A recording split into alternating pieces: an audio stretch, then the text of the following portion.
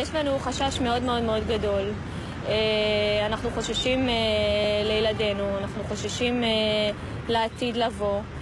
זה שעכשיו כרגע בונים שם 50, רק 50 משפחות כרגע יגיעו לגור, זה רק מראה לנו את העתיד לבוא.